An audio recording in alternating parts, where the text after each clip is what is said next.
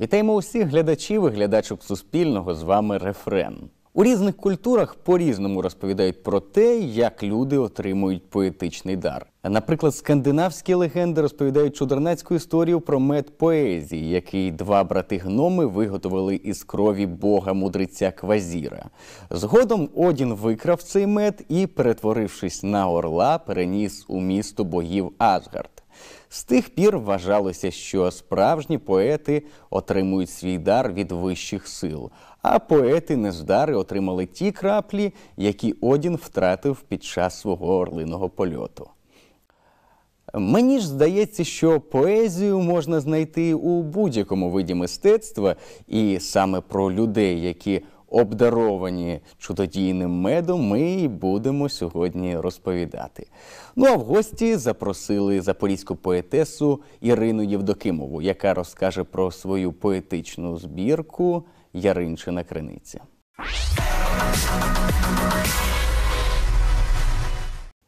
Хоча танцями займається багато хто, але степ серед них здається рідкісним і навіть дещо екзотичним. Тим більше цікаво дізнатися, що у Запоріжжі проходить фестиваль перкусійних танців «The Tap for Life». Саме у рамках цього фестивалю на відкритому майданчику Палацу дитячої та юнацької творчості відбувся флешмоб, у якому взяли участь сім колективів.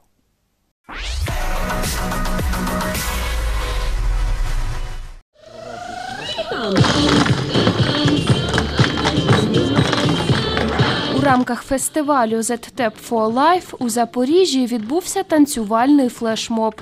Це вже другий фестиваль національно-перкусійно-танцювального мистецького простору, що об'єднує професіоналів і аматорів Tap and Irish Dance. У флешмобі взяли участь прихильники степу з різних куточків нашої країни з Києва, Одеси, Харкова, Дніпра, Вінниці. Під час флешмобу сім танцювальних студій на відкритому майданчику міського палацу дитячої та юнацької творчості по черзі демонстрували свої вміння та навички. Як розповідають організатори, цей флешмоб присвячений любові степістів до цього живого та динамічного танцю. Тут беруть участь як починаючі степісти, так і вже професіонали. Це чемпіони Європи і світу зі степу. Е, окрім того, що е, для учасників організовуються такі заходи, як зараз, як культурний захід. Для у них був цілий день майстер-класів е, з ірландського степу та з американського степу, де професіонали вже ділилися своїм досвідом. Олена Соколова, керівниця студії Шемрок, степом займається вже 15 років та зізнається, ірландський степ приносить їй задоволення, дарує гарну фізичну форму та заряд позитивної енергії. степ. А, это ритм, енергія. Это не... Степ це ритм, енергія, це незвично. Цей напрямок не скрізь, ще не розкручений і не кожен це вміє. Тому це, напевно, більше як спорт і танець. Тобто це поєднання двох видів, так сказати, малий і великий спорт. Тому що насправді це дуже важко, і фізична підготовка потрібна досить серйозна, якщо ти хочеш красиво та легко танцювати. За цим криється природно хороша фізична підготовка. Мене це приваблює, мені подобається. Танцевать, За этим кроется, естественно, хорошая физическая подготовка. Меня это привлекает, мне нравится. Не уявляє свого життя без степу Анастасія Старченко, лідерка команди степістів Decide Tep з міста Київ. Для неї степ це танець, який поєднує у собі все, що їй до вподоби в танцювальному мистецтві. Степом Анастасія займається вже 18 років. Я взагалі викладач з вокалу і музикант, того для мене поєднання моїх улюблених двох речей в одному це найкраще рішення, яке я могла вибрати у житті. Якраз цього фестивалю є така мета. Це не тільки навчальна, де ми даємо класи і вчимося у своїх колег, а також це об'єднання всіх напрямків в одному місці і е, розуміння того, що we are one, і ми робимо одну і ту саму справу, і це дуже круто.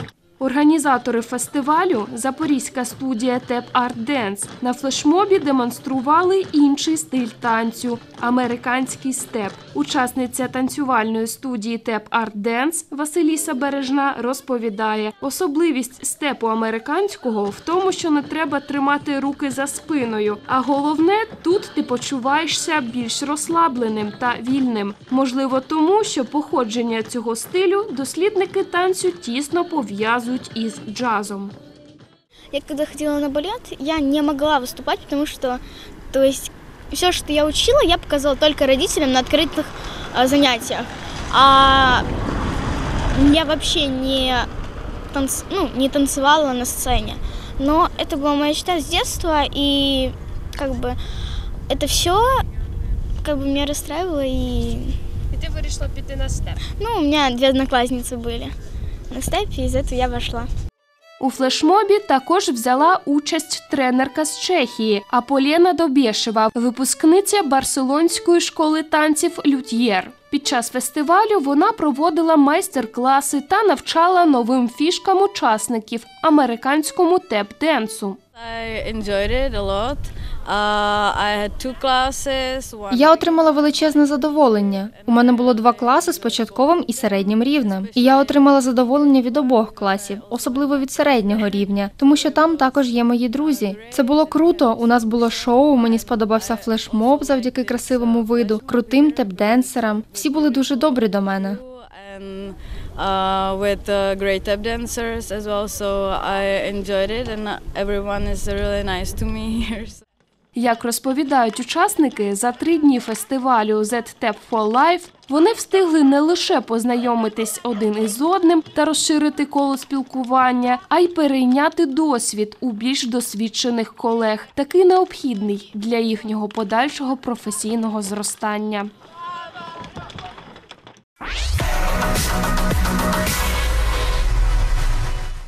А сьогодні в гості до рефрену завітала запорізька поетеса Ірина Євдокимова.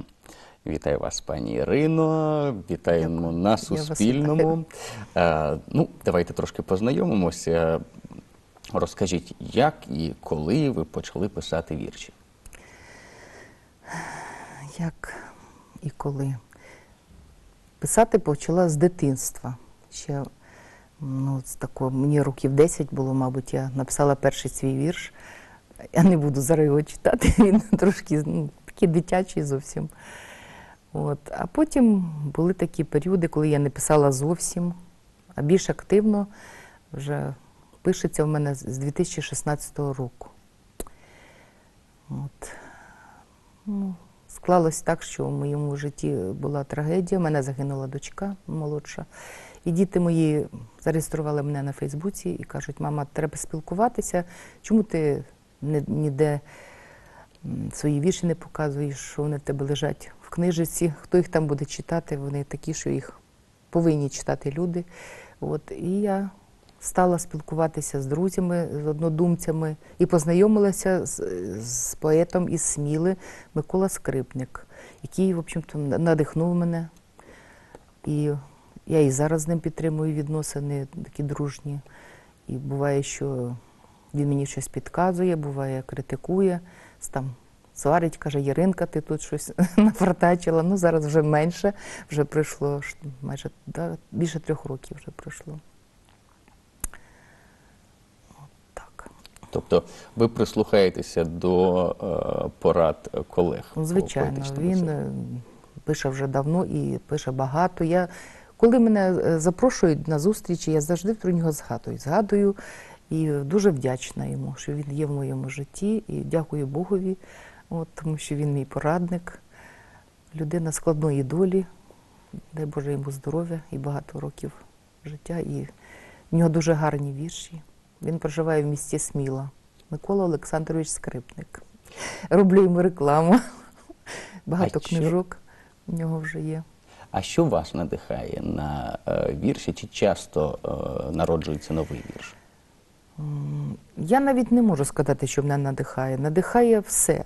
Зустріла людину таку приємну, з нею поспілкувалася, просто подивилася в вікно, чи може десь побачила якийсь гарний пейзаж намальований. От з останнім часом часто так буває. І почали писатися, пішла перша стрічка. То Я ніколи себе не заставляю, такого немає, щоб там. Це от зараз сяду, візьму карандаш, чим-то ручку і буду писати. І Буває іноді виходиш на балкон, подивишся на небо, тако на зорі, туди-сюди, подивився, оп, заходиш уже вірш тобі про місяця. Я дуже багато в мене віршів про ніч, про місяць, і вони всі різні. От. І навіть іноді самі смішно. Ну а зараз така пора, от золота, що не писати, мені кажеться, зовсім неможливо. Всі поети люблять осінь, і я також. Тобто це не як Джек Лондон тисячу слів на день, це саме Ні, от е, я не ставлю таких собі цілей. Бувало таке, що декілька і, різні теми, і не можеш зупинитися. Таке також бувало. Але зараз якось менше. Оцей рік менше.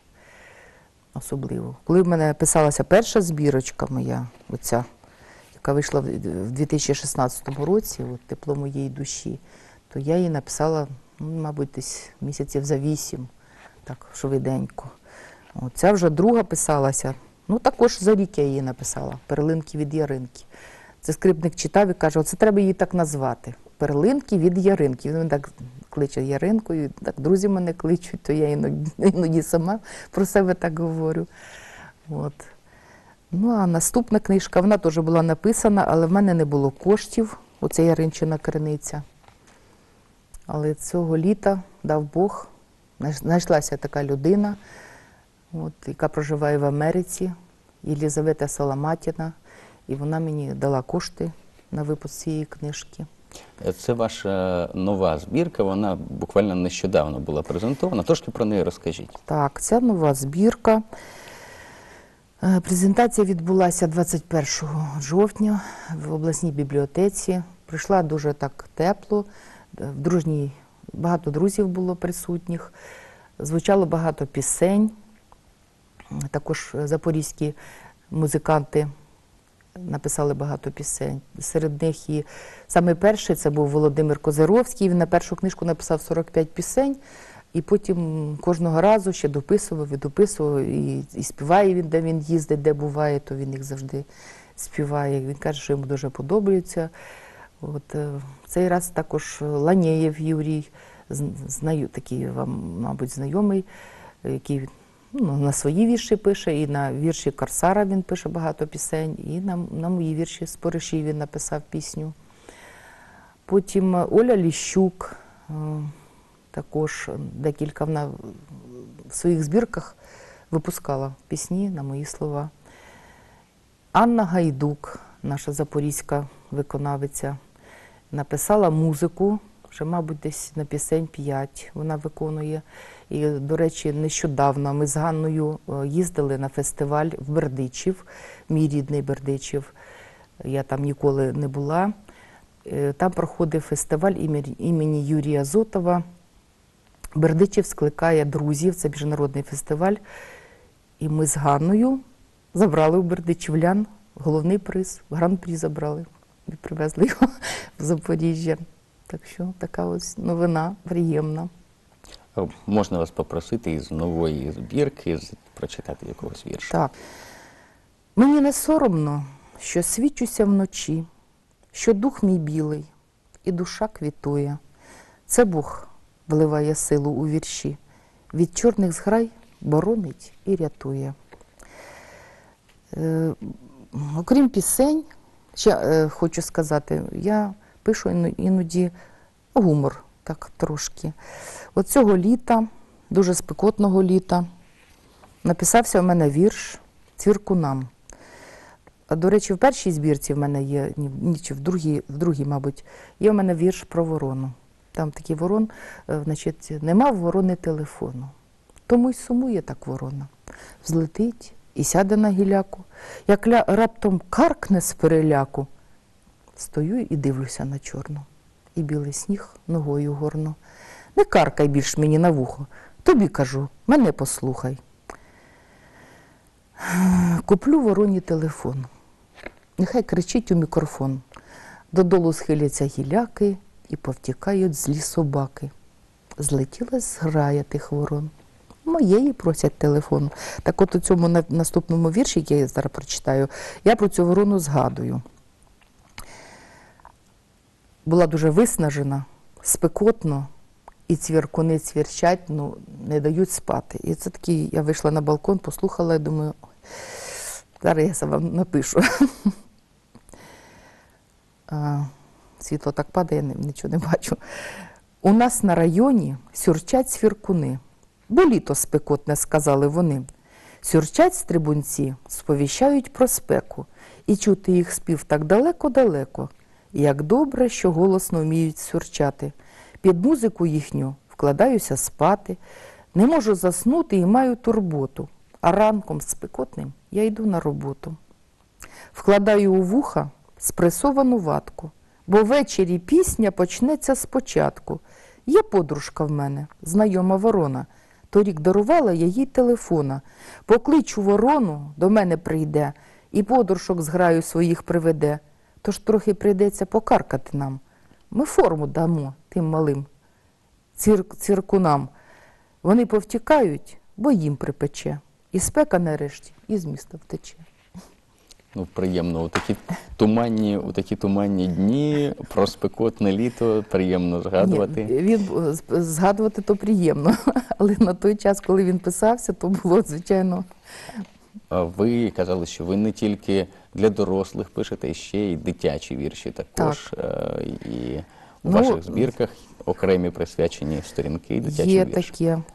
Коли народилася у моєї сестри е, онучка, ну, це й моя онучка, в мене один онук, на жаль, тільки, то я написала віршик такий. Він називається, зашукаю його, Пуні Муні, тому що я його не пам'ятаю е, на пам'ять. Зараз я його прочитаю вам. Тримайте, будь ласка, цю книжку, бо я не можу розібратися тут своїми сторінками. Угу. Пуні-муні, пуні-муні, мишка вкрала в бабці чуні, стала внучку колесати, стала пісеньку співати. Вже малятко спати треба, світять зірочки для тебе, хай насняться сни чудові, кульки різнокольорові. Пуні-муні, пуні-муні, які в бабці гарні чуні. Бабця чуні свої взула, мишка вилізти забула. Ой, які тепленькі чуні, пуні-муні, пуні-муні. Дуже дякую. А е, с- в- також ми з вами трошки поговорили. Ви і ви сказали, що всі вірші ви пишете українською мовою. А, як так сталося в Запоріжжі, російськомовному, е, цілком е, україномовна творчість? Ну, діло в тому, що Яринка народилася на Житомирщині. Е, Це село Гришківці Бердичівського району Житомирської області. І там проживала до 10 років, навчалася в українській школі. Я закінчила українську школу. От, і тому це рідна мова для мене. І багато слів, які я тут пуні-муні згадую так само це з дитинства, мабуть. Мої друзі питають, звідки ти знаєш ці слова? Я їм кажу, що знаю. Їх, звичайно, їх використовую на писанні. Добре розумію, про що я пишу. Так. Е, Це ваша третя збірочка Яринчина Криниця. От розкажіть, е, як чи важко е, видати книжку авторові у Запоріжжі? Якщо є кошти, то не важко. Є таке в нас видавництво Ольги Меркулової, і вона залюбки видасть вашу книжку, якщо у вас гарні вірші. Можете до неї звертатися, вона допоможе. Ми над цією книжкою працювали десь місяців зо три, тому що після роботи так потрібно було і підібрати по темах, і малюнки ми разом взагалі з нею підбираємо. От. А вони пишуться і пишуться. Я при- пригожу, кажу, я ще дописала. Вона каже, ну я вже не можу більше, вже досить. Я кажу, ну як же ж такий вірш залишити на цілий рік, ще коли я там буду видаватися. Так що, якщо в- за, за кошти, за які можна видати книжку, то звичайно. Мені допомогла цю книжку видати, я розповідала вже. І було приємно, що вона була присутня на моїй презентації. Їй дуже сподобався мій гумор. Вона каже, я була вражена, я не, не очікувала. Тепер будемо з нею спілкуватися. Так. А ви так е, трошки спочатку сказали, що ну перші вірші е, писали у дитинстві. Там е, перш, перший вірш читати не будете, тому що він дитячий. Але от кому ви вперше прочитали вірша вже у дорослому віці? Хто сказав, ну от Ірино, ви поетеса? Я от так вже не скажу, я не пам'ятаю, але хочу сказати, що перший слухач це мій чоловік. Я завжди йому читаю першому. Він каже. «М, Буває Гарно. таке, що відправляє на доопрацювання. А Діло в тому, що ні, я йому читаю вже тоді, коли він вже досконалий. Я так рахую, що вже можна його комусь показати і почитати. Потім е, читає скрипник, а потім вже всі, решта всі.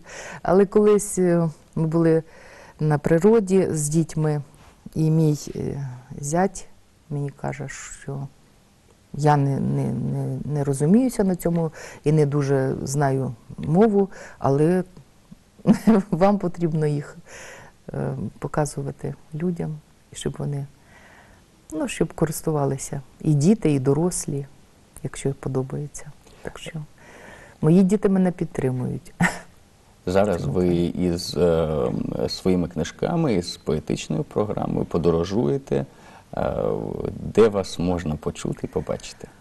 Ну, минулого року у нас були такі е, зустрічі, організовувались. е, Є в нас в Запоріжжі стежина, об'єднання стежина, і запрошую туди авторів і музикантів. І були такі у нас проходили зустрічі в будинку культури Титан і в будинку культури Орбіта. От, а до речі, Анна Гайдук веде там вечори і іноді буває співає мої пісні також. І Андрій Маурін там співає мої пісні, ну, наскільки я знаю. Ну, якщо бувають е, заходи, на які запрошують, то, звичайно, також приймаю участь. В Васильівську е, ліру нас от запрошують часто, кожного року проходить там фестиваль усадьби Попова, то ми також там зустрічаємось і подружилися з поетами з Васильівської ліри, там під керівництвом е, Василя Крилатого. Е, До пошуку ходжу до Лорини Тесленко, також спілкуюся. Нові твори читаю. От і літоб'єднання Анни Лупенос, я там також буваю. Ну, я не можу сказати, що в мене так все досконало. Я, хоч і за віком вже не молода, але вірші до мене ще молоді, мабуть. Бувають, щось підправляють, я прислухаюся, ніколи ну, так не проходить, щоб я не аналізувала там. Якщо є щось поправити, то я поправляю. Так що Е, Дуже дякую вам, пані Ірино, за розмову. Кілька хвилин у нас буквально ще залишилося. я і ще хочу один вірш ще хочу Тема запропонувати вам кохання. е, Багато в мене віршів написано на цю тему. От хочу прочитати вам вірш, називається Незабудки. В майбутньому це може бути романс, але поки, поки що незабудки, засушені квіти, на сторінці тихесенько сплять, моїм поглядом ніжним зігріті, кличуть спогади, душу хмелять. Те останнє побачення в сквері, відпущу біль прощальних образ, допишу олівцем на папері світлі гасла розгублених фраз. Подарунок твій, серцем зігрітий, я на пам'ять собі зберегла ці блакитні малесенькі квіти, радість серця від твого тепла. Почуття не згасають з роками, геть різцем відсічу все сумне, допишу я густими рядками про жіноче кохання земне. Незабудок, маленький кучерик, він любові святий оберіг. Знов іду на побачення в скверик. Бог для мене кохання зберіг. Дякую вам, дякую, пані Ірино, за розмову. Дякую за ваші вірші. Я і дякую вам. е, бажаємо вам ще дуже багато збірок. І приходьте обов'язково до нас, коли напишете щось новеньке. Дякую. На все добре. Ну а для наших глядачів у нас є ще дещо цікаве.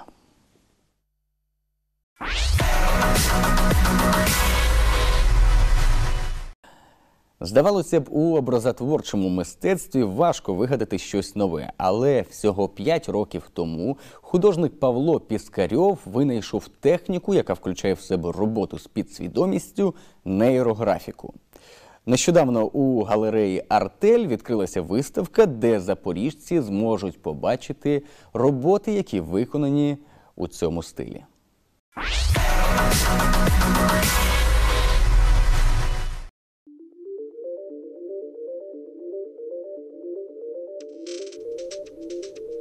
У галереї Артель відкрилась виставка нейрографіки. Ця художня техніка є методом арт-терапії, образотворчим методом роботи з підсвідомістю. Її 5 років тому розробив художник та психолог Павло Піскарьов. На сьогодні методика вже має прихильників у різних країнах світу, зокрема і в Україні. Это всеукраинская первая выставка, которая у нас в Украине. Це перша всеукраїнська виставка. Були індивідуальні виставки. У мене два роки тому була частина нейрографіки, частина живопису. У Тетяни Пашенюк була індивідуальна виставка з нейрографіки у Дніпрі, але така всеукраїнська перша, де ми представили багатьох, хто малює не лише інструкторів, а й просто захоплених нейрографікою. На експозиції в Запоріжжі представлено біля сотні робіт від 15 художників із різних міст. Інструкторка з нейрографіки Наталія Юриліна приїхала із Черкас. За професією вона театральна художниця. Розповідає, коли відкрила для себе нейрографіку, здивувалась, що треба починати з нуля.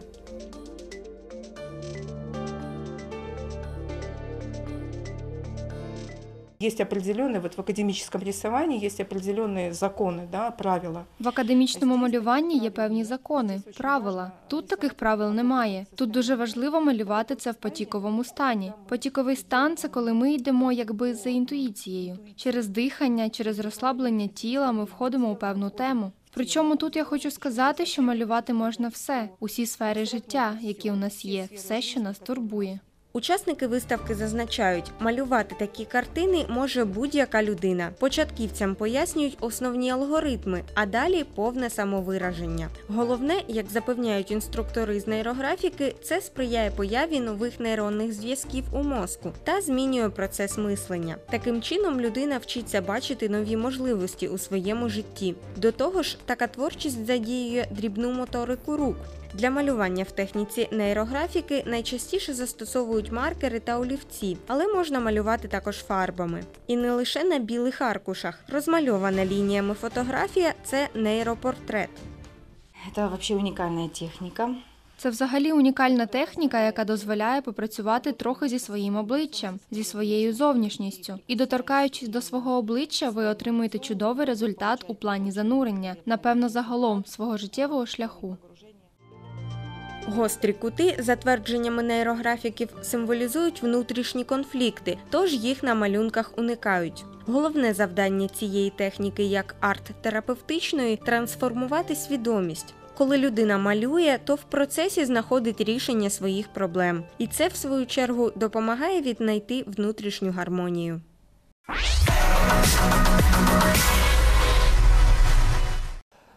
Ну а на цьому у нас все. Наступного тижня чекайте на нові історії про справжніх поетів, кожний у своєму виді мистецтва. А ми прощаємося з вами до наступного тижня.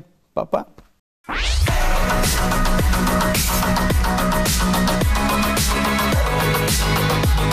We'll be.